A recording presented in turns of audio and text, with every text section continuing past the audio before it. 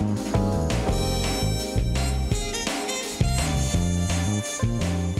Bueno, vamos a hablar ahora con Diego Valenzuela de su libro Sarmiento Periodista. Usted sabe que se habló un montón de este libro. La presidenta Cristina Kirchner se refirió a él en un discurso y a partir de ahí se convirtió en un bestseller. Capaz que ni te imaginabas que eso iba a pasar, Diego, pero terminó pasando. Y yo lo leí en ese momento y esperé un poquito para invitarlo a Diego Valenzuela porque salió en tantos lados y se habló tanto.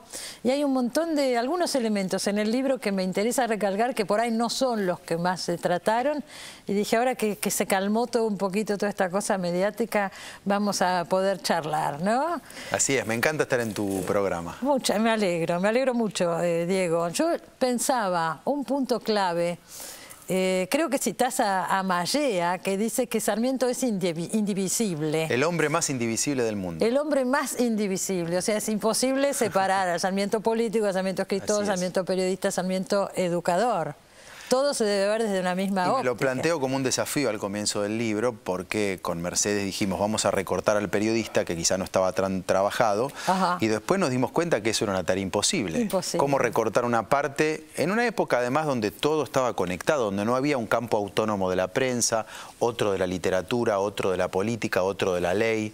Todo se daba a la mano en la época, eran las mismas personas las que hacían todo. Hacían todo, absolutamente Así que nos propusimos no dividirlo y tratarlo en su complejidad. Hay un un punto que este es un programa de libros, hablamos mucho de literatura, me interesa mucho remarcar que está muy trabajado en el libro. ¿Cómo surge la literatura nacional, la literatura argentina? Siempre se habla de los textos fundantes, emblemáticos, los textos de, Echeverría, La cautiva, El matadero, El Facundo de Sarmiento, Amalia de Mármol. En realidad estos textos surgen como textos políticos creo que fue David Viñas, vos lo citás acá, que dice, ¿qué hubiera sido de Sarmiento sin Rosas? Le debemos todo a Rosas. Le debemos todo, la literatura nacional se la debemos a Rosas en sus inicios. Son todos libros, estos escritores no eran lo que sí sucede después con la generación del 80, que son escritores profesionales, eran políticos, militares, escritores, periodistas, eran todo. Entonces desde ahí toman la literatura como un arma política. Sí, la gran motivación que ellos tenían, por supuesto, eran eh, hombres de ideas y personas ilustradas y que amaban el hecho de escribir y expresar sus ideas a través de la escritura. Pero la gran motivación era la política y en la época el gran tema articulador o si se quiere desarticulador, o que dividía, era la cuestión de cómo organizar el país, unitarios y federales, y lo que significaba Rosas en ese sentido. Muchos de ellos, inclusive, eh, nacen a la vida pública y a la escritura desde la decepción, de ver que hay un rosa fuerte y que parece que se eterniza. Mm. Eso es el Facundo. Eso es el Facundo. Escrito en 1845, cuando todavía faltan muchos años para la batalla de Caseros. Claro. Sentían que Rosas no se iba a ir más. Tal cual. Y escriben desde la decepción y con fines políticos. Y desde el exilio. Y desde el exilio la gran mayoría. Mm. Eh, y por eso muchas veces decimos, y esto lo ha trabajado muy bien la Academia de Literatura, es que hay un corto plazo de esta escritura que es con fines políticos y un mediano o largo plazo que es el de la literatura, porque buena parte de ellos también querían ser autores. Claro. Y escribían muy bien. Eran hombres de una gran ambición. Así es. Vamos a decirlo, y también muy inteligentes.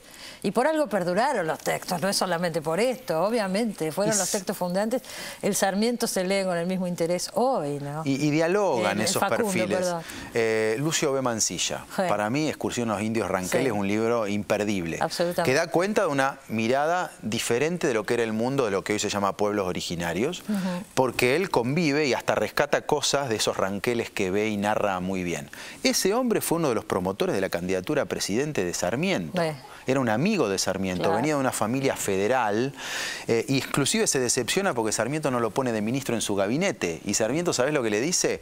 Mm, con un loco basta, por él mismo. El loco era él. Exactamente. Acá se ve también eh, ahora vamos a retomar un poco el tema de la literatura, pero se ve también la gran ambición de Sarmiento y cómo el Facundo, libro que comienza, vamos a decirlo, eh, eh, como folletín, por entregas en un diario de, Chile. El Progreso de Chile en 1845, escrito por entregas para defenderse de, Rosas que lo quería extraditar. Lo escribía con la rapidez con la que iba saliendo en el diario. Y ese es otro punto ¿no? que en el libro tratamos de marcar, que buena parte de esa literatura tiene la impronta de la urgencia del periodismo. Claro. Y es una escritura que nace en tanto periodismo, además de los fines políticos. Y, después construye, recordemos que en esa época no se hacía un libro desde cero, como hoy que uno dice, bueno, voy a publicar un libro, voy a la editorial, hago una propuesta. No, el libro era una consecuencia de una serie de artículos eh, que habían sido publicados en la prensa y no toda cosa que se escribía terminaba en libro. No, claro, era eso, la divulgación era eso, y Sarmiento en la prensa. estaba chocho porque su libro había circulado en 500 ejemplares, o sea, imagínate, recién el gran bestseller de la época creo que fue el Martín Fierro, ¿no? Bueno, el Martín Fierro también está muy bien contado acá.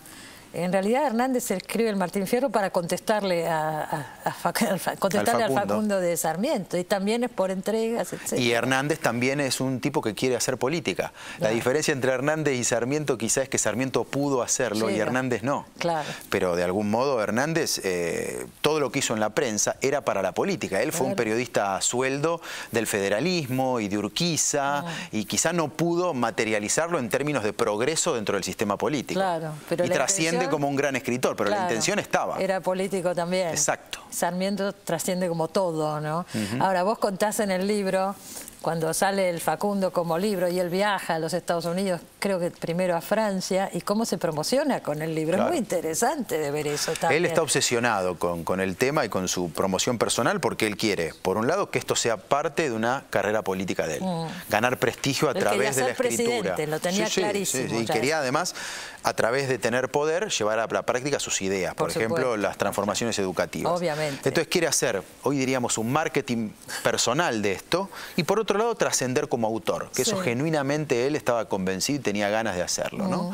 Entonces él, tanto en Francia, lo vemos obsesionado con el Facundo abajo del brazo, tratando de que las revistas de cultura de la época publicaran una crónica. O cuando va a Estados Unidos, su gran obsesión es traducirlo al inglés. Cosa que hace Mary Mann, que era la, la maestra famosa. La viuda del Horace Mann, que era el, famoso educador de Massachusetts. y ella se, lo traduce. con ellos y bueno, trae toda esta educación norteamericana, las maestras, ¿no? Así es. Las maestras norteamericanas. Hay un libro de Julio Crespo muy bueno. Muy bueno, con unas lindas fotos. de Sarmiento. Este. Y esta Mary Mann lo ayuda mucho en este marketing que vos decís. Le traduce el libro al inglés, le, hace, le hace como una introducción muy interesante mm. eh, y a su vez le hace contactos. Mm. lo, pone eh, frente a intelectuales y gente relevante en la época en el mundo de Estados Unidos. Claro, y así más o menos se construye Y él, vos sabés qué dice en esa época, eh, cuando ya está pensando en su candidatura presidencial, dice, mejor lejos del país eh, que me extrañen porque me idealizan. Y él sabe que eso que él está haciendo con el Facundo y con su escritura y con su prestigio de haber combatido a Rosas ahí, eh, de algún modo está contribuyendo a la conformación de una candidatura presidencial en la Argentina, mm. ¿no? Desde el punto de vista de el escritor relevante que hizo un aporte a la educación, que combatió a Rosas y todo eso hace que, y la verdad ocurrió así. Y así fue. Se lo extrañó acá y lo propusieron de candidato y fue elegido presidente allá, estando Estaba en Estados Unidos. Así es. Exacto. Además, bueno, solo, sin partido, era un escritor, un periodista. Es que su arma fue la pluma. Indudablemente él no tenía ni una condición económica, familiar, de contactos, lo que hoy diríamos bueno, tengo amigos poderosos. No, eh, él no tenía instrucción formal tampoco. Es un autodidacta Entonces, claramente él se construye con la pluma, con el periódico y con el libro como un personaje relevante de la discusión pública, mm. en tanto escritor y como un dirigente político, inclusive llegando a presidente. Es, un caso, creo, único el de Sarmiento. Ahora, eh, también está contado, pero me gustaría que lo contaras acá, por qué él elige la figura del Facundo, de Facundo Quiroga, ¿no es cierto? Que había muerto 10 años antes en Barranca Así es, en 1835. Hmm. Así que él, de algún modo, hace esas operaciones que hacen los grandes intelectuales, ¿no? No conociendo la Pampa y no conociendo buena parte de lo que narra, él toma la figura metafórica, porque él se da cuenta que es una figura potente, esa figura casi animal del Facundo, el tigre de los llanos, pero en realidad está hablando de Rosas, está hablando del sistema que él, que él de algún modo configura como la barbarie frente a su civilización, y él usa la metáfora de Facundo para hablar de Rosas, inclusive diciendo que Rosas es peor que Facundo, porque, porque Facundo de algún modo es instinto y Rosas es la la sistematización de eso, ¿no? De esa barbarie. La sistematización. Y en realidad es una gran metáfora, no deja de ser ficción, porque él no conocía lo que narraba y además cuando sale el libro tiene muchas críticas acerca de imperfecciones, inexactitudes, falta de notas acerca de lo que él había escrito. Y él dice, no, no lo toquen, no lo toquen, porque él eh, de algún modo está planteando, esto es para el fin de la política, si no, si tuviera rigor no sería efectivo. Claro. Entonces él no corrige Por las eso es una que gran le novela también. Por eso es un ensayo, un panfleto político y también una gran novela. Él lo llama así en un momento panfleto Sí. y también drama he visto que drama, lo llama. drama. Y Yo lo marco ahí Apelando porque... al teatro, a la Claro, teatralidad. yo dije, es un gran drama, es el gran drama de la Argentina. Claro. No drama porque sea, no por peyorativo, sino porque es un drama, No, es drama un gran teatro. de- teatral, Sí. claro. Sí, una sí, apuesta, sí. ¿no? Teatral. Y Piglia creo que es el que dice, y yo ahí lo, lo pongo, que es eh, el museo de la novela o una protonovela. Ajá. O sea, Claro, también es una mirada claro. interesante de ver cómo un texto para la política Sí. está configurando ya un campo literario, ¿no? Exactamente. Y de ficción. Es exactamente, es muy interesante analizar todo esto. Y también esto, lo que decíamos, la génesis de la literatura nacional, ¿no? Que se hace en el exilio y se hace contra Rosas. Es una literatura política. Así es. Otros dos elementos que en el poco tiempo que tenemos me gustaría conversar acá, si hablamos de la generación del 37, es la relación de Sarmiento con Alberdi, que está muy bien tratada también en el libro. ¿Podemos hablar un poquito de eso? Sí, sí. eh, yendo un poquito atrás, eh, Bueno, justamente claro, la generación del, del 37 eh, es fundacional en términos de que es casi la primera corriente intelectual de lo que hoy es la Argentina. Lo ¿no? es, y claro. también es en oposición a Rosas. Un salón literario, Marco Sastre, Empieza en con el Buenos salón Aires. eh, y algunas personas que comulgaban con esto y que estaban más lejos. Eh, Sarmiento era uno en San Juan, que abren un salón literario allá, que sería casi una sucursal del de acá. de. Después, claro, muchos tienen que ir al exilio por lo de Rosas eh, y, y Sarmiento, entre otros. Eh, y ahí es que se arma esta coalición del exilio contra Rosas, como la generación del 37 eh, sigue viviendo en el exilio. Y sigue publicando. Y publicando. sigue- Pero fue fundacional en términos de lo que eh, representó traer ideas del romanticismo a la Argentina y empezar a, a- a- a hacer un planteo programático. alternativo al que significaba el rosismo. Después, con esta gente en el exilio, cada uno va creciendo, porque cuando empiezan son muy jóvenes, adquieren su perfil, y luego de haber compartido muchas batallas, algunos se pelean ¿no? y discuten fuertemente. Eh, Mitre estaba también ahí, como Claro. estaba eh, Echeverría, eh, y como estaban estos dos grandes personajes, Sarmiento y Alberdi, que comparten amistad muchos años y después discuten, básicamente por el proceso que abre la caída de Rosas. Ahí está. Eh, Ahí surgen las diferencias. Una- un gran debate. El tema es el apoyo o no apoyo a Urquiza. a Urquiza, eh, básicamente lo que dice Sarmiento es que Urquiza es, eh, es como Rosas. Claro, es la continuación de Rosas. Y Alberdi era más indulgente, ¿no? Pensaba que había que era una manera ya superadora Bueno, de y lo presenta anterior. las bases, ¿no es cierto? Y, en ese y momento. discuten sobre la organización constitucional Claro. y se dicen de todo, ¿no? Porque Sarmiento dice que Alberdi como pensador era un buen compositor de minués, eh, lo- así lo soslaya, eh, le dice que era un empleado a sueldo de, de Urquiza, y esta bajada, el caudillo de la pluma, es una frase de Alberdi. Ah, Porque Alberdi inteligentemente usa la categoría que Sarmiento había utilizado para criticar a, a Rosas, caudillo, eh, Facundo, y las usa para decir vos sos iguales que ellos. Es que los dos El entran en un caudillo de la pluma muy agresivo. Muy O sea, Alberdi le dice a Sarmiento que es caudillo, caudillo, claro. de la pluma. Claro, de la, De la pluma, pluma. pero caudillo. Caudillo al fin. ¿No es cierto? Un gran debate de la historia nacional. Claro, es de una riqueza impresionante este debate, porque bueno, son posturas diferentes.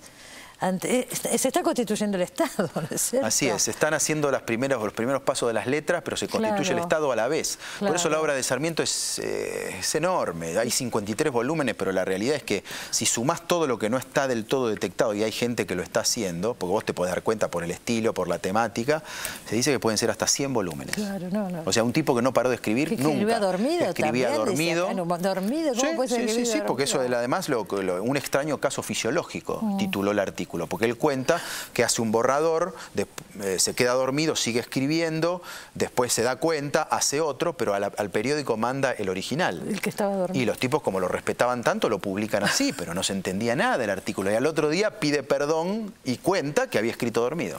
Y las diferencias entre Sarmiento y Mitre, Y fueron eh, Porque son grandes personas por la que política. también compartieron Sí. muchísimo en un momento y terminan totalmente Compartieron, fueron enfrentados. socios políticos, amigos de la vida. eh, de hecho, los hijos, el hijo de Sarmiento muere en, en la guerra del Paraguay con Mitre y el hijo de. Mitre es asistente o secretario de Sarmiento en Estados Unidos. Estados Unidos. Mitre fue el intermediario en el divorcio de Sarmiento con Benita. Pero bueno, los dividió la política. Cuando Sarmiento quiso ser presidente, se alió con Alsina, que era el rival de Mitre, y esto los puso en veredas Porque opuestas. Mitre quería nombrar él su sucesor. Quería nombrar su sucesor y además trata de volver él a la presidencia. Y cuando vio que Sarmiento seguía a él y ponía a Avellaneda, le hizo la revolución. Y paradójicamente, Y ahí es Mitre, donde pasa este episodio lo que mencionó la presidenta, que- que es Mitre y el mitrismo y la nación terminaron siendo los principales opositores de Sarmiento en su gobierno.